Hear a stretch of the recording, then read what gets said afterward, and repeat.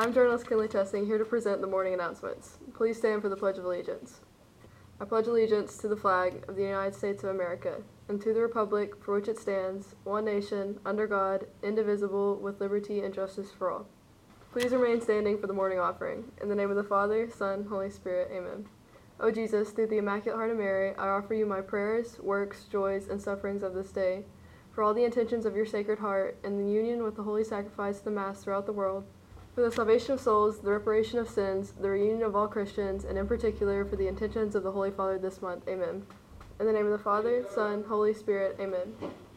Food Service Director Jeff Crowder has the menu for today's lunch. It's Tuesday. Today's menu will be a taco salad, pinto beans, lettuce cheese cup, salsa, pinto uh, pineapple tidbits, and monkey bread. Coach Brent Bruick has an announcement about the evening's out of town basketball games.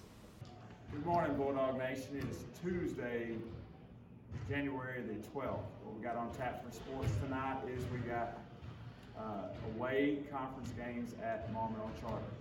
The games will start at 5 o'clock with the junior girls, followed by the senior girls, senior boys last.